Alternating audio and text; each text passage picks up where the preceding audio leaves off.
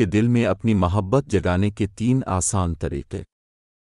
नाजरीन, हम उम्मीद करते हैं कि अब सब खैरियत से होंगे। दोस्तों, कुछ मर्द ऐसे भी होते हैं जो शादीशुदा औरतों को पसंद करते हैं। इसके साथ घूमना फिरना चाहते, बातें करना चाहते, उनका जिस्म इस्तेमाल करना चाहते लेकिन उन्हें ये नहीं पता कि शादीशुदा औरत के दिल में कैसे अपनी मोहब्बत जुगनी है। और कैसे इसका एतबार जीतना है और किस तरह उन्हें परपोज करना है। नंबर एक, जिस्म की तारीफ़ करना, शादीशुदा औरत के जिस्म को इस्तेमाल करने का और उसके दिल में अपनी मोहब्बत पैदा करने का सबसे आसान तरीका यह है कि मर्द इसके जिस्म की तारीफ़ करें, इसकी इकहों की तारीफ़ करें, इसके होंठों की तारीफ़ करें।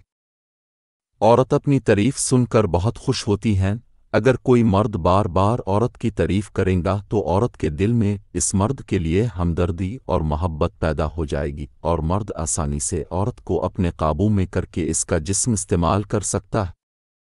नंबर दो, गो शौहर की बुराइयाँ करना, शादीशुदा औरत के जिस्म को इस्तेमाल करने का और उसके दिल में अपनी मोहब्बत पैदा करने का दूसरा तरीका यह है कि मर्द इसके सामने इसके शौहर की बुराइयाँ करें, इसकी खामियों को बयान करें और अपनी तारीफ़ करें।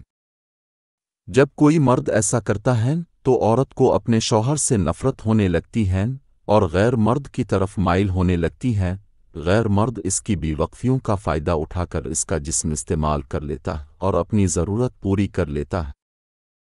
नंबर तीन, औरत के साथ हमदर्दी खाना, शादीशुदा औरत के जिस्म को इस्तेमाल करने का और उसके दिल में अपनी मोहब्बत पैदा करने का तीसरा तरीका यह है कि मर्द ऐसी औरत के साथ हमदर्दी करें, इसके घर वालों के साथ हमदर्दी करें, इसकी खिदमत करें, ज़रूरत के वक्त उनके साथ उनके साथ माली इमदाद भी किया करें, उनकी छोटी छोटी ज़रूरियात को पूरी करें और अगर कोई मर्द ऐसा करता है तो बहुत जल्द औरत इसकी तरफ़ माइल होती है, इसकी हर बात मान लेती है। यहाँ तक कि अगर मर्द इसका जिस्म भी मांगेगा तो खुशी से इससे पेश कर देगी।